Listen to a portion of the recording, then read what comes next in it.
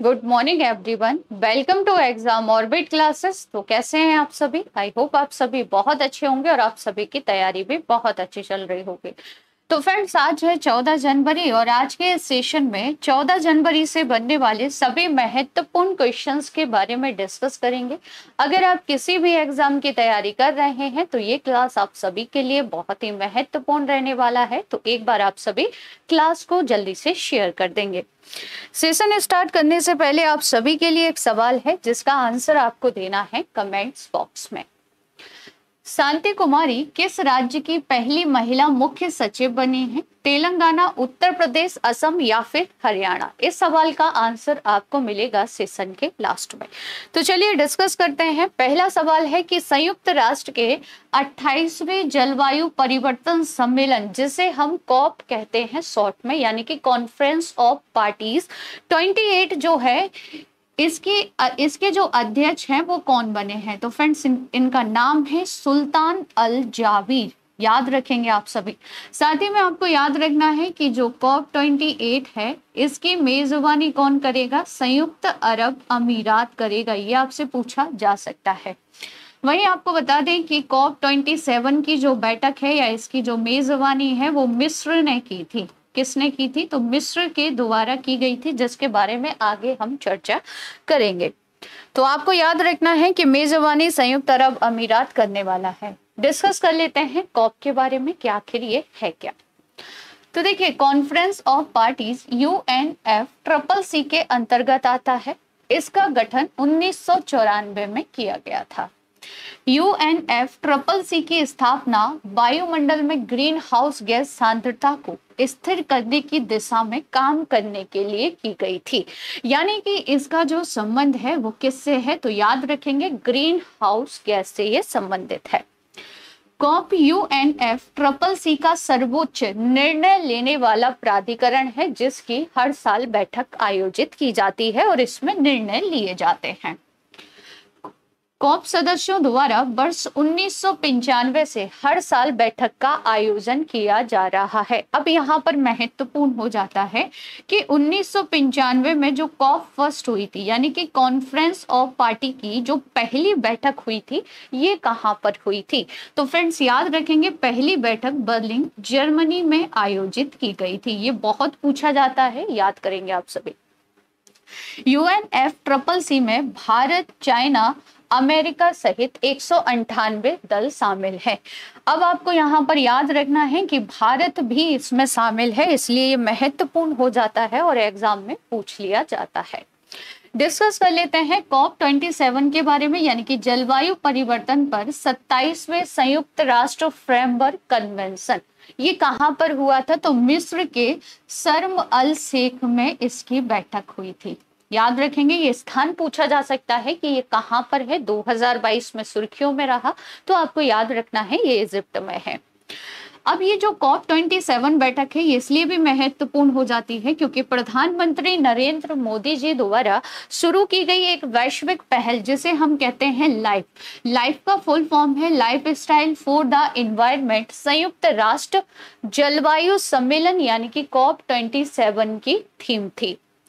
पहली बैठक जैसा कि अभी हम डिस्कस कर चुके हैं बर्लिंग में हुई थी और भारत में अगर पूछ ले, भारत के परिप्रेक्ष्य से तो याद रखेंगे 2002 में कॉप एट जो है, इसकी बैठक या इसकी जो मेजबानी है, वो नई दिल्ली ने की थी, यानी कि भारत में यह बैठक आयोजित की गई थी।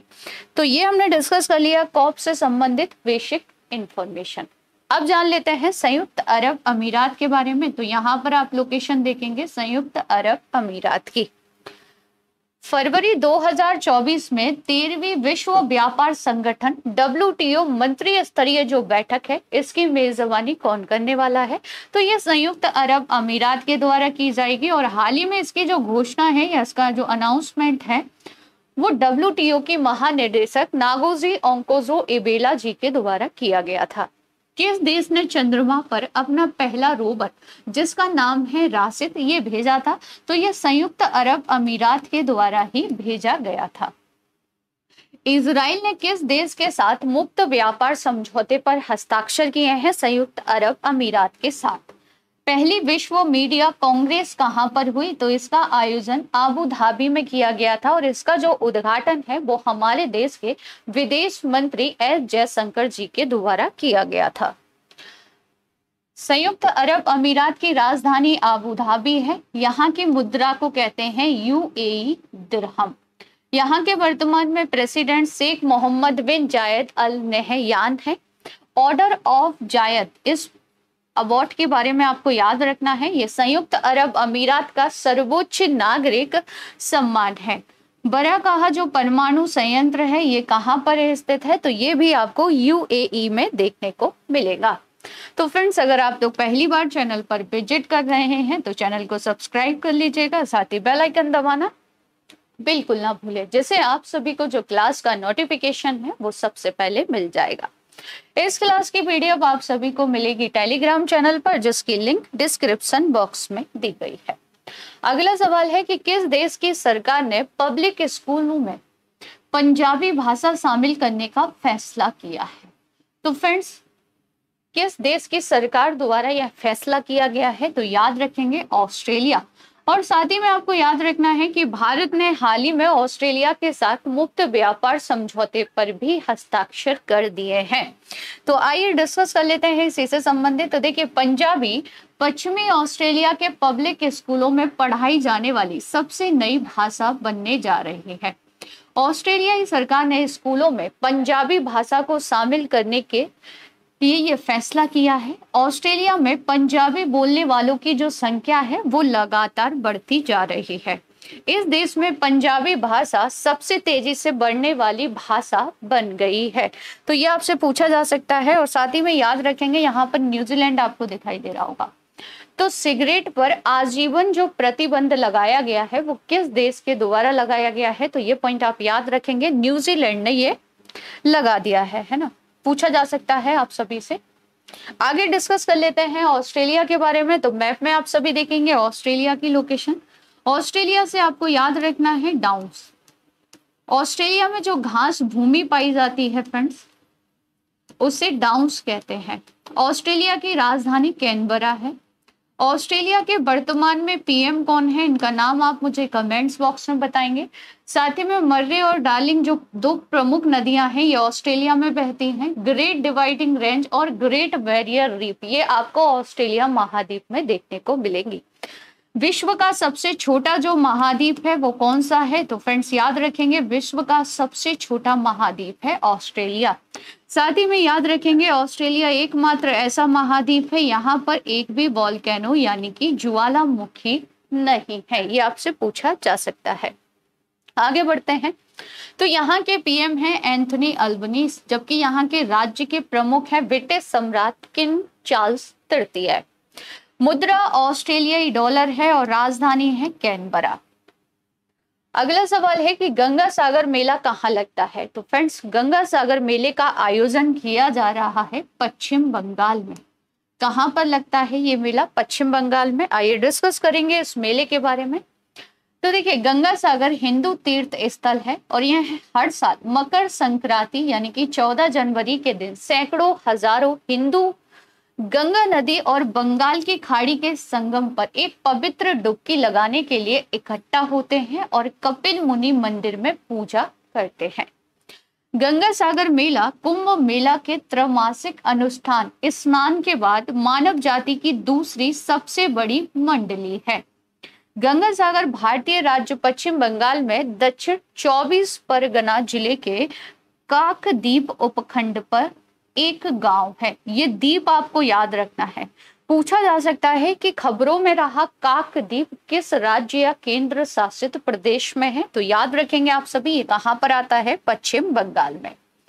डिस्कस कर लेते हैं मेला लेटेस्ट करंट अफेयर। तो भारत में 24 नवंबर 2022 को स्वीडिश शिक्षा मेले का जो आयोजन है, ये कहाँ पर किया गया था? चेन्नई में। खबरों में रहा, मिंजर मेला किस राज्य से संबंधित है? तो ये हिमाचल प्रदेश में लगता है और हाल ही में इस मेले को अंतरराष्ट्रीय दर्जा दिया गया था। वहीं बात की जाए कुंभ मेले की तो चार जगहों पर लगता है प्रयागराज, हरिद्वार, उज्जैन और नासिक। प्रत्येक 12 वर्ष में यह मेला आयोजित होता है। सोनपुर मवेशी जो मेला है, ये बिहार में गंगा और गंडक नदी के मिलन स्थल यानी कि सोनपुर में लगता है और यह एशिया का सबसे बड़ा पशु मेला है। हेमिस गुम्फा जो मेला है, इसका आयोजन लद्दाख में किया जाता है। माघ मेला प्रयागराज में लगता है। चंद्रभागा और पुष्कर मेला, ये दोनों ही मेले राजस्थान राज्य में लगते हैं। सूरज कुंड मेला लगता है हरियाणा में और अंबुवाची का जो मेला है, ये असम में लगता है। तो ये भारत के कुछ प्रमुख मेले हैं, जिनके बारे में आपको याद रखना है। डिस्कस करेंगे वेस्ट बंगाल के बारे में तो यहाँ मैप में आप सभी देखेंगे। राजधानी कोलकाता है और कोलकाता किस नदी के किनारे है फ्रेंड्स तो हुगली नदी के किनारे है। यहाँ के वर्तमान में सीएम ममता बनर्जी हैं। अब आप मुझे बताएँगे कि पश्चिम बंगाल के वर्तमान में गवर्नर कौन है? इनका नाम आप सभी को कमेंट्स बॉक्स में लिखना है। साथ ही में याद रखेंगे कि 2023 में अंडर वाटर जो मेट्रो है देश की पहली, ये कहाँ चलेगी? तो ये पश्चिम बंगाल में चलेगी। विश्व स्वास्थ्य संगठन डब्ल्यूएचओ ने किस देश को इबोला वायरस से मुक्त होने की घोषणा कर दी है? तो फ्रेंड्स डब्ल्यू ने ये घोषणा की है किसको? युगांडा युगांडा कहाँ पर आता है? तो ये अफ्रीका महाद्वीप में स्थित एक देश है, जिसे पूर्ण तरह से इबोला से मुक्त घोषित कर दिया गया है। किसके द्वारा? डब्ल्यू एच ओ के द्वारा, विश्व स्वास्थ्य संगठन के द्वारा। इबोला वायरस के बारे में डिस्कस करें तो इससे पहले इबोला रक्त रक्तस्रावी बुखार के रूप में जाना जाता था। यह मनुष्य में एक दुर्लभ, गंभीर तथा घातक बीमारी है। एबोला वायरस पहली बार 1976 में एबोला नदी के पास खोजा गया था, जो अब कांगो लोकतांत्रिक गणराज्य है। एबोला नदी अगर पूछ ले तो याद रखेंगे अफ्रीका महाद्वीप। इस रोग का पहला मामला दिसंबर 2013 में गिनी में दर्ज किया गया था। गिनी भी कहाँ पर आता है? अफ्रीका महाद्वीप में। बाद में यह बीमारी पड़ोसी देश लाइबेरिया और सियारा लियोन में भी फैल गई। यह वायरस जंगली जानवरों से लोगों में फैलता है और मानव से मानव संचरण के माध्यम से मानव आबादी में भी यह वायरस फैलता है। एयर बेबो वैक्सीन लोगों को जेरे एबोला वायरस प्रजाति से बचाने में कारगर साबित हुई है। तो ये वैक्सीन आप याद रखेंगे, ये किस वायरस से संबंधित है? तो ये एबोला वायरस से संबंधित है। डिस्कस करेंगे युगांडा के बारे में तो यहाँ अफ्रीका महाद्वीप में देखेंगे युगांडा। और यहाँ पर आप देखेंगे इसके जस्ट साउथ में आपको दिखाई देगी लेक ऑफ़ विक्टोरिया। तो किस महाद्वीप में आता है ये? अफ्रीका महाद्वीप में। युगांडा गणराज्य पूर्वी अफ्रीका में स्थित एक स्थल रूट देश है। युगांडा की राजधानी कंपाला है और यहाँ की मुद्रा को कहते हैं सीलिंग। वर्तमान में यहाँ के प्रेसिडेंट है योबेरी मुसे वैनी तो ये युगांडा के बारे में बेसिक इंफॉर्मेशन आप सभी को याद रखनी है। अगला सवाल है कि प्रसिद्ध भारतीय शास्त्रीय संगीत के गायक पंडित मणि प्रसाद का निधन हो गया। उन्हें किस वर्ष संगीत नाटक अकादमी पुरस्कार से सम्मानित किया गया? तो फ्रेंड्स, इन्हें संगीत नाटक जो अकादमी पुरस्कार है ना, ये कब दिया गया था? तो 2019 में इन्हें इस पुरस्कार से सम्मानित किया गया था। इनका जो जन्म है, वो 4 नवंबर 1930 को बड़धा में हुआ था। अब आपको बताना है कि वर्धा वर्तमान में किस राज्य में आता है। उस राज्य का नाम आपको बताना है कमेंट्स बॉक्स में। कुछ महत्वपूर्ण प्रसिद्ध निधनों के बारे में डिस्कस कर लेते हैं, जो कि सुर्खियों में रहे। मशहूर सिंगर लीसा मेरी प्रेसली का निधन हो गया। वह किस देश की निवासी थी? तो फ्रेंड्स, ये अमेरिका की थी। पूर्व केंद्रीय मंत्री शरद यादव का निधन हो गया। इनका जन्म कहाँ पर हुआ था? तो याद रखेंगे, इनका जन्म मध्य प्रदेश के होशंगाबाद में हुआ था। द्रविड़ भाषाओं के विशेषज्ञ ब्रिटिश भाषाविद, जिनका नाम है रोनाल्डो ई. असर का निधन हो गया है। कश्मीर के पहले ज्ञानपीठ पुरस्कार विजेता, रचनाकार रहमान राही का भी निधन हो गया है। अगला सवाल है कि टाटा पावर हाउसिंग सोसाइटी के लिए भारत का पहला सोलर प्लांट कहाँ स्थापित करेगा? तो देखिए, टाटा पावर ने ये घोषणा की है कि हाउसिंग सोसाइटी के लिए जो पहला सोलर प्लांट है, ये महाराष्ट्र में लगाया जाएगा। कहाँ पर? तो याद रखेंगे आप सभी, ये प्लांट लगेगा महाराष्ट्र में। डिस्कस करेंगे सोलर पावर से संबंधित प्रश्नों के बारे में। तो टाटा पावर ने किस राज्य में भारत की सबसे बड़ी पानी पर तैरती हुई सोलर पावर परियोजना की शुरुआत की तो इसकी शुरुआत 2022 में केरल में की गई। इंडोर सोलर कुकिंग सिस्टम, जिसका नाम है सूर्य नूतन, को किसने विकसित किया है? तो इसे इंडियन ऑयल के द्वारा विकसित किया गया है। किस देश ने 2028 में निरंतर बिजली प्राप्त करने हेतु अंतरिक्ष में एक सौर ऊर्जा संयंत्र शुरू करने की योजना का प्रस्ताव रखा है? तो ये प्रस्ताव चाइना के द्वारा रखा गया है। अगला सवाल है कि किसे व्यवसाय एवं सामुदायिक कल्याण के क्षेत्र में उल्लेखनीय योगदान के लिए प्रवासी भारतीय सम्मान पुरस्कार से सम्मानित किया गया है। तो फ्रेंड्स ये जो पुरस्कार है ना, द्रौपदी मुर्मू यानी कि राष्ट्रपति जो भारत की हैं, इनके द्वारा अमित कैलाश चंद्र लाठ को दिया गया है। डिस्कस करेंगे इनके बारे में तो सबसे पहले आप पिक में देख सकते हैं, राष्ट्रपति द्रौपदी मुर्मू जी द्वारा इन्हें पुरस्कृत किया जा रहा है। तो पोलैंड के प्रवासी राजस्थानी अमित कैलाश चंद्र लाट राष्ट्रपति द्रौपदी मुर्मू ने व्यवसाय एवं सामुदायिक कल्याण के क्षेत्र में उल्लेखनीय योगदान के लिए प्रवासी भारतीय सम्मान पुरस्कार से सम्मानित किया है। फ्रेंड्स, प्रवासी भारतीय दिवस की जो मेजबानी है, ये किसके द्वारा की गई है? तो याद रखेंगे आप सभी, ये मेजबानी इंदौर ने की है। किसने की है? इंदौर ने। अब आपको बताना है कि इसकी थीम क्या है इस बार की। कमेंट्स बॉक्स में आप सभी लिखेंगे। ऑनलाइन गेमिंग में भारत का पहला उत्कृष्टता केंद्र कहाँ पर खोला जाएगा? तो फ्रेंड्स, ये खोला जाएगा सिलांग में। कहाँ पर बनेगा? तो ये सिलांग में बनेगा। डिजिटल कौशल पर प्रशिक्षण प्रदान करने के लिए सिलांग में राष्ट्रीय इलेक्ट्रॉनिक्स और आईटी संस्थान के तहत एक अत्याधुनिक सुविधा की स्थापना की जाएगी। जल्द ही इसके लिए 10 एकड़ का कैंपस भी तैयार किया जाएगा। किस देश के शांति रक्षकों को अनुकरणीय सेवा के लिए संयुक्त राष्ट्र पदक से सम्मानित किया गया है? तो फ्रेंड्स ये जो पदक है ना, ये भारत के सैनिकों को दिया गया है। किसके द्वारा? संयुक्त राष्ट्र के द्वारा। तो देखिए, दक्षिणी सूडान में संयुक्त राष्ट्र मिशन में सेवारत एक हज़ार से अधिक भारतीय शांति सैनिकों को एक पुरस्कार समारोह में सम्मानित किया गया। पहली बार भारतीय सेना की एक महिला अधिकारी, जिनका नाम है मेजर जैस्मीन चड्डा ने अपर नाइल में पुरस्कार समारोह में भारतीय दल की परेड का नेतृत्व किया। तो इनका नाम आप सभी याद रखेंगे।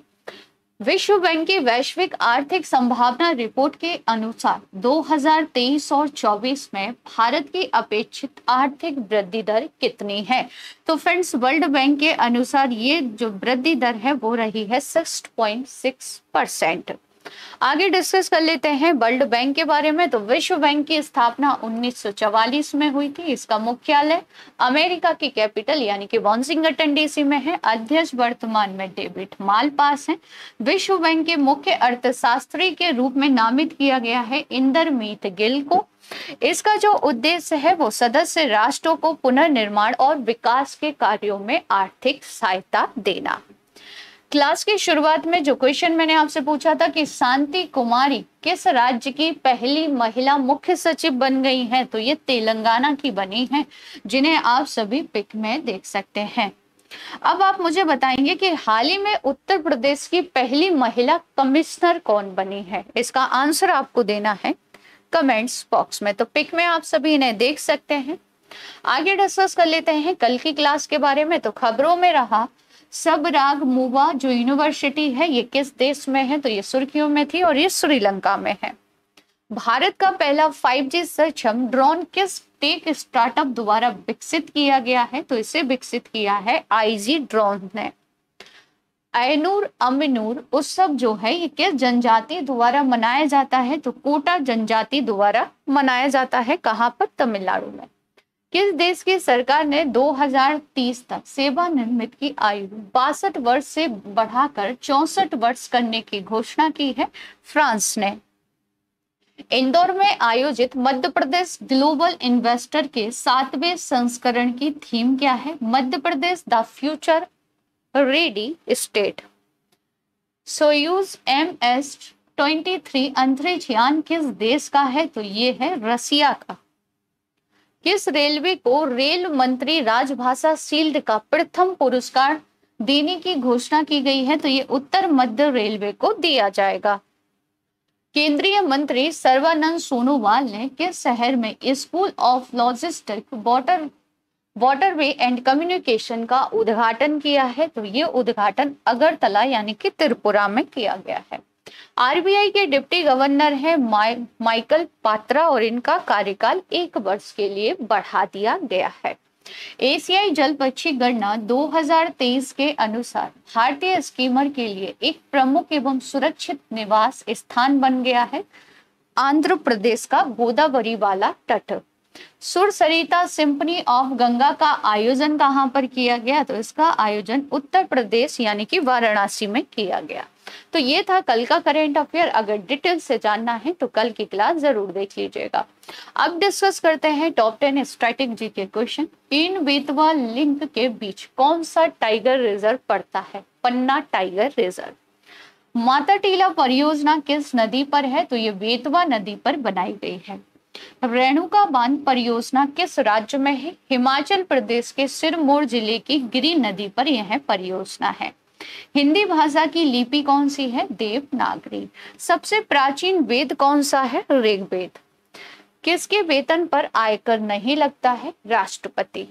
सूर्य में कौन सा तत्व सर्वाधिक मात्रा में पाया जाता है? हाइड्रोजन।